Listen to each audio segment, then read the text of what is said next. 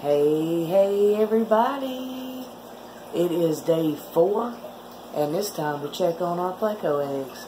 Come on, let's go check on them, see if they're hatching. My Plecos have hatched. Well, actually, they're starting to hatch. How cool is that, huh? I really like this breeder box. I mean, it does have a good flow to it. But look at all the babies.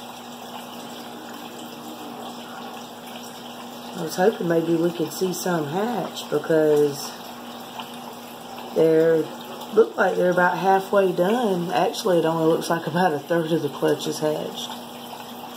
That is just too cool.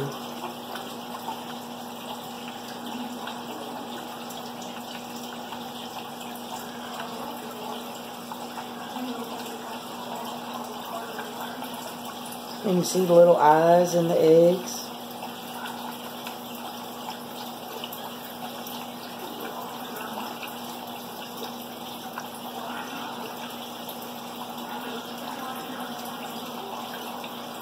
So far we got quite a many, uh, quite a, quite a few.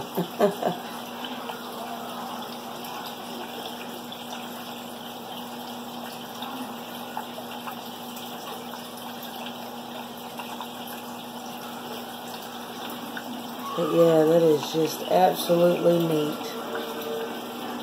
I got so excited when I come in the aquarium room and I seen all the baby plecos swimming all over the breeder box. Right now, they still have their yolk sac, as you can see. That's the yellow part right here.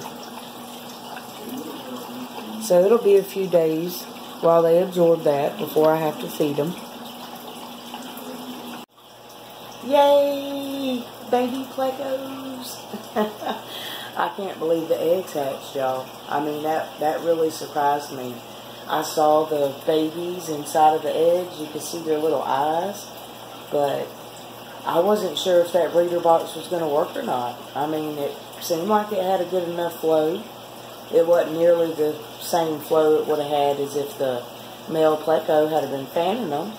But, hey, it must have worked. So, I guess we'll just wait a little while and check back in and see if all the eggs hatch. I don't know if they will or not, but it looks promising. Alright guys, about an hour later, I come back and we have a 100% hatch rate. There are all the skins and I move them around. I got my straw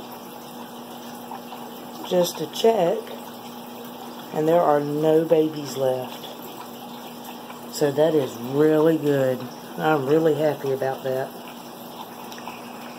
And as far as how many of them go, I have no idea.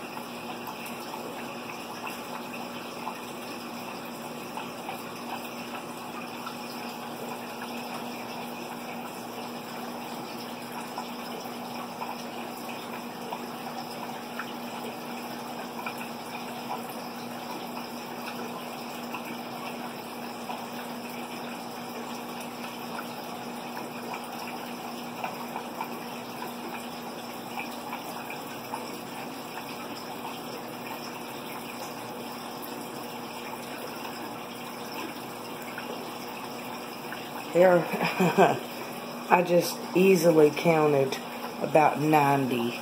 that is a lot of plecos. So I guess we'll find out in a day or two if they're going to be the calico or the albino.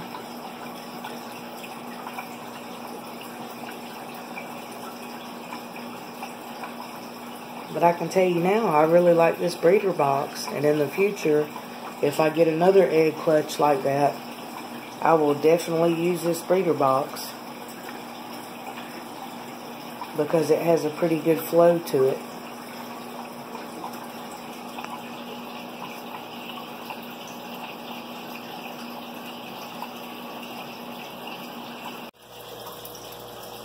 Well, there you go, everybody.